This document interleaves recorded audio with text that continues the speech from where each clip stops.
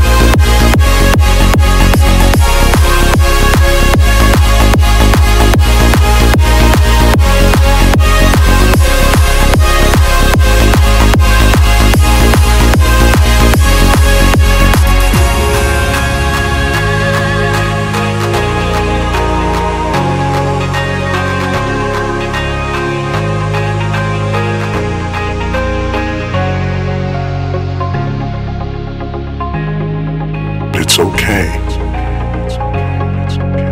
The way you are feeling right now. With an open mind.